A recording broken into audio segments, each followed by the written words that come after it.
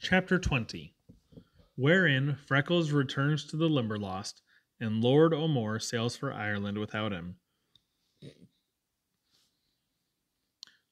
Freckles' voice ceased, his eyes closed, and his head rolled back from sheer exhaustion.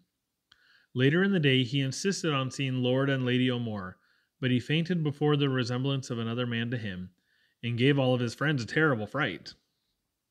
The next morning, the man of affairs, with a heart filled with misgivings, undertook the interview on which Freckles insisted. His fears were without cause. Freckles was the soul of honor and simplicity. Have they been telling you what's come to me? he asked, without even waiting for a greeting. Yes, said the angel's father. Do you think you have the very worst of it clear to your understanding? Under Freckles' earnest eyes, the man of affairs answered soberly, I think I have, Mr. O'More. That was the first time Freckles heard his name from the lips of another. One second he lay overcome. The next, tears filled his eyes, and he reached out his hand. Then the angel's father understood, and he clasped that hand and held it in a strong, firm grasp. Terence, my boy, he said, let me do the talking. I came here with the understanding that you wanted to ask me for my only child. I should like at the proper time to regard her marriage, if she has found the man she desires to marry, not as losing all I have, but as gaining a man on whom I can depend, to love as a son, and to take charge of, charge of my affairs for her when I retire from business. Bend all your energies toward rapid recovery, and from this hour, understand that my daughter and my home are yours. You're not forgetting this? Freckles lifted his right arm. Terence, I am sorry than I, sorrier than I have words to express about that, said the man of affairs. It's a damnable pity. But if it's for me to choose whether I give all I have left in this world to a man lacking a hand, or to one of these gambling, tippling, immoral spendthrifts of today, with both hands and feet off their souls, and a rotten spot in the core, I choose you. And it seems that my daughter does the same. Put what is left of you, of that right arm, to the best uses you can in this world, and never again mention or feel that it is defective as long as you live. Good day, sir. One minute more, said Freckles. Yesterday the angel was telling me that there was money coming to me from two sources. She said that my grandmother had left my father all of her fortune and her house, because she knew that his father would be cutting him off, and also that my uncle had set aside for me what would be my father's interest in his father's estate. Whatever the sum is that my grandmother left me father, because she loved him and wanted him to be having it, that I'll be taking. 'Twas hers from her father, and she had the right to be given it as she chose. Anything from the man who knowingly left me father and me mother to go cold and hungry, and into the fire and misery, when just a little would have made life so beautiful for them and saved me this crippled body, money that he willed from me when he knew I was living, of his blood, and on charity among strangers, I don't touch. Not if I freeze, starve, and burn too. If there ain't enough besides that, and I can't be earning, earning enough to fix things for the angel. We are not discussing money, burst in the man of affairs. We don't want any blood money. We have all we need without it. If you don't feel right and easy over it, don't you touch a cent of any of it. It's right I should have what me grandmother intended for my father, and I want it, said Freckles. But I'd die before I touch a cent of me grandfather's money. Now, said the angel, we are all going home. We have done all we can for Freckles. His people are here. He should know them. They are very anxious to become acquainted with him. We'll resign him to them. When he is well, why, then he will be perfectly free to go to Ireland or to come to the Limberlost just as he chooses. We will go at once. McLean held out for a week and then he could endure it no longer. He was heart hungry for Freckles. Communing with himself in the long, soundful nights of the swamp, he had learned to his astonishment for the past year his heart had been circling, circling the Limberlost with Freckles. He began to wish that he had not left him. Perhaps the boy, his boy by first right, after all, was being neglected. If the boss had been a nervous old woman, he scarcely could have imagined more things that might be going wrong. He started to Chicago loaded with a big box of goldenrod, asters, fringed gentians, and crimson leaves that the angel carefully had gathered from Freckles' room, and a little, long, slender package. He traveled with biting, stinging jealousy in his heart. He would not admit it even to himself, but he was unable to remain longer away from Freckles and leave him to the care of Lord O'More. In a few minutes' talk, while McLean awaited admission to Freckles' room, his lordship had chatted genially of Freckles' rapid recovery, of his delight that he was unspotted by his early surroundings, and his desire to visit the Limberlost with Freckles before they sailed. He expressed the hope that he could prevail upon the angel's father to place her in his wife's care and have her education finished in Paris. He said they were anxious to do all they could to help bind Freckles' arrangement with the angel, as both he and Lady O'More regarded her as the most promising girl they knew, and one who could be fitted to fill the high position in which Freckles would place her. Every word he uttered was pungent with bitterness to McLean. The swamp had lost its flavor without Freckles. And yet, as Lord O'More talked, McLean fervently wished that he were in the heart of it. As he entered Freckles' room, he almost lost his breath. Everything was changed. Freckles lay beside a window where he could follow Lake Michigan's blue until the horizon dipped into it. He could see big, soft clouds, white capped waves, shimmering sails, and puffing steamers trailing billowing banners of lavender and gray across the sky. Gulls and curlews wheeled over the water and dipped their wings in the foam. The room was filled with every luxury that taste and money could introduce. All the tan and sunburn had been washed from Freckles' face in sweats of agony. It was a smooth, even white, its brown rift scarcely showing. What the nurses and Lady O'More had done to Freckles' hair, McLean could not guess, but it was the most beautiful that he had ever seen. Fine as floss, bright in color, waving and crisp, it fell around the white face.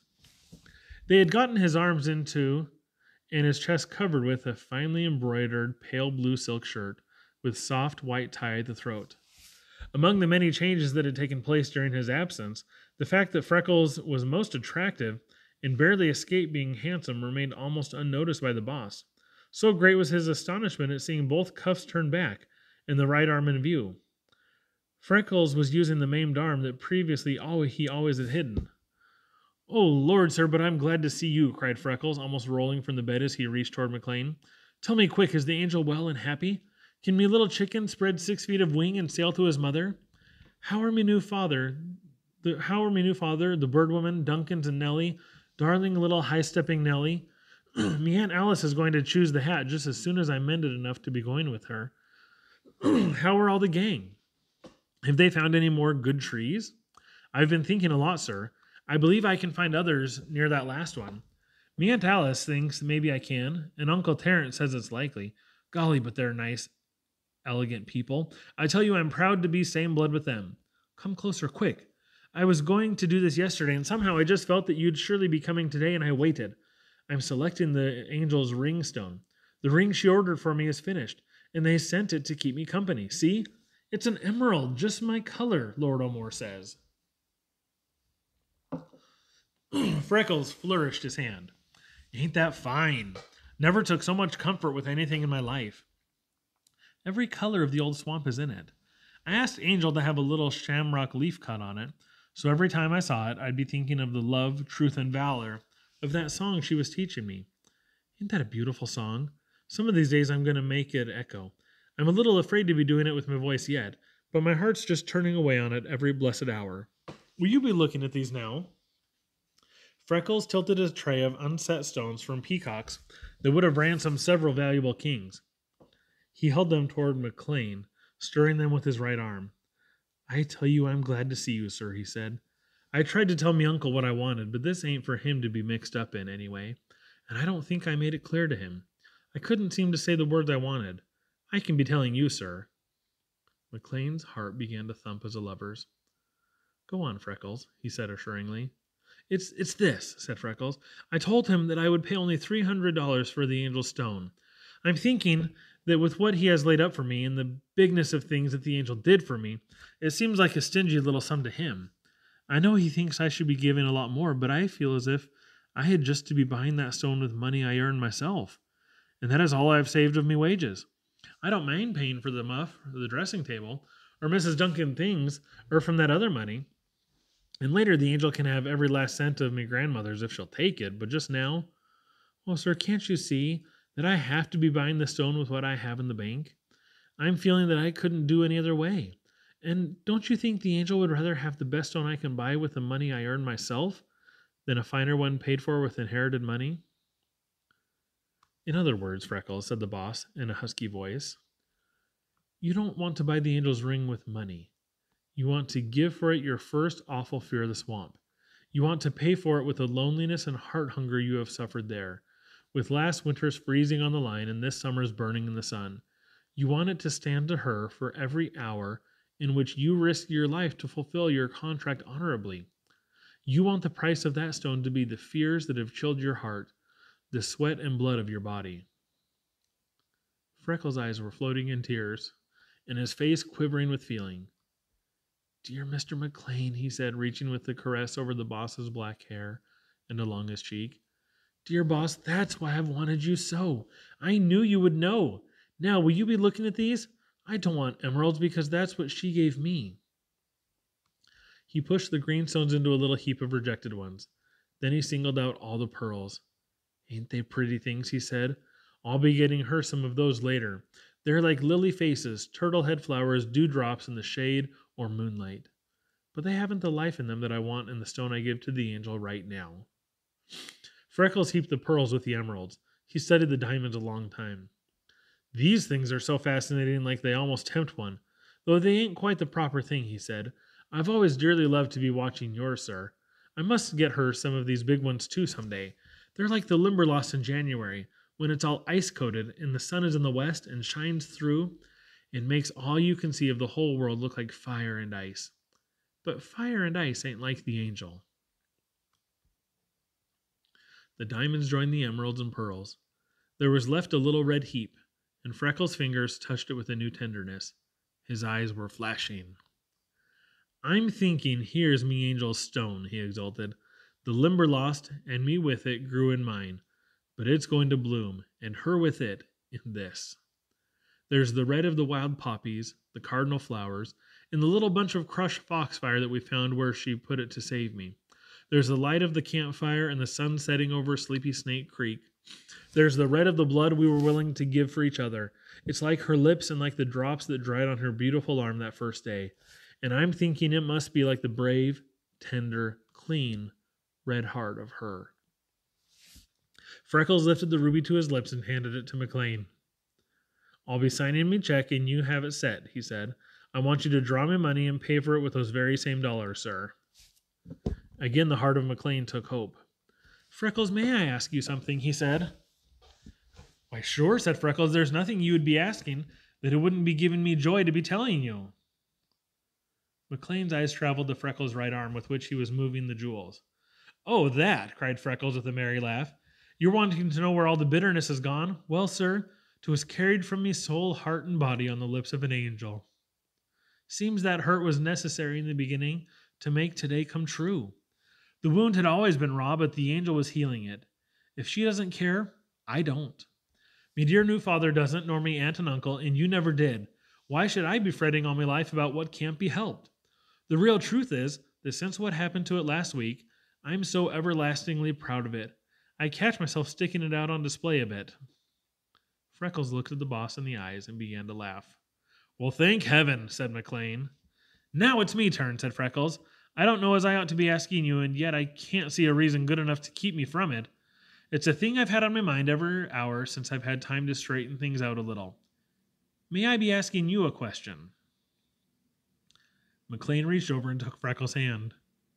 His voice was shaken with feeling as he replied, Freckles, you almost hurt me. Will you never learn how much you are to me? How happy you make me in coming to me with anything, no matter what. Then it's this, said Freckles, gripping the hand of McLean strongly. If this accident and all that's come to me since had never happened, where was it you had planned to send me to school? What was it you meant for me to do? Why, Freckles, answered McLean, I'm scarcely prepared to state definitely. My ideas were rather hazy. I thought we would make a beginning and see which way things went. I figured on taking you to Grand Rapids first and putting you in the care of my mother. I had an idea it would be best to secure a private tutor to coach you for a year or two until you were ready to enter Ann Arbor or the Chicago University in good shape. Then I thought we'd finish in this country at Yale or Harvard and end with Oxford to set a good all around flavor. Is that all? asked Freckles. No, that's leaving the music out, said McLean. I intended to have your voice tested by some master. And if you really were endowed for a career as a great musician and had inclinations that way, I wished to have you drop some of the college work and make music your chief study. Finally, I wanted us to take a trip through Europe and clear around the circle together. And then what? queried Freckles breathlessly. Why, then, said McLean, you know that my heart is hopelessly in the woods. I never will quit the timber business while there is timber to handle and breath in my body. I thought if you didn't make a profession of music and had any inclination my way, we would stretch the partnership one more and take you into the firm, placing your work with me. Those plans may sound jumbled in the telling, but they have grown steadily on me, Freckles, as you have grown dear to me. Freckles lifted anxious and eager eyes to McLean. You told me once on the trail and again when we thought that I was dying that you love me. Do these things that have come to me make any difference in any way with your feeling toward me? None, said McLean. How could they, Freckles? Nothing could make me love you more, and you never will do anything that will make me love you less. Glory be to God, cried Freckles. Glory be to the Almighty. Hurry and be telling your mother I'm coming. Just as soon as I can get on me feet, I'll be taking that ring to me angel, and then I'll go to Grand Rapids and be making me start just as you planned. Only that I can be paying me own way. When I'm educated enough, we'll all, the angel and her father, the bird woman, you and me, all of us will go together and see me house and me rela- relations and be taking that trip. When we get back, we'll add more to the lumber company, and by golly, sir, but we'll make things hum. Good land, sir. Don't do that. Why, Mr. McLean, dear boss, dear father, don't be doing. What is it? Nothing. Nothing, boomed McLean's deep voice. Nothing at all. He abruptly turned and hurried to the window. This is a mighty fine view, he said. Lake's beautiful this morning. No wonder Chicago people are so proud of their city's location on its shore. But Freckles, what is Lord O'More going to say to this? I don't know, said Freckles. I am going to be cut deep if he cares, for he's been more than good to me, and Lady Alice is next to me angel. He's made me feel me blood and race me in own possession. She's talked to me by the hour of me father and mother and me grandmother. She's made them all that real I can lay claim to them and feel that they were mine. I'm very sorry to be hurting them if it will, but it can't be changed. Nobody ever puts the width of an ocean between me and the angel. From here to the Limberlost is all I can be bearing peaceable.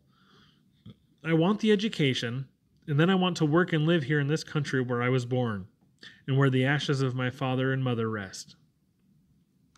I'll be glad to see Ireland, and glad especial to see those little people who are my kin. But I ain't ever staying long. All me heart is the angels, and the Limberlost is calling every minute. You're thinking, sir, that when I look from that window I see the beautiful water, ain't you? I'm not. I see soft, slow clouds oozing across the blue, me big black chickens hanging up there, and a great feather softly gliding down. I see mighty trees, swinging vines, bright flowers, and always masses of the wild roses, with the wild rose face of me ladybird looking through.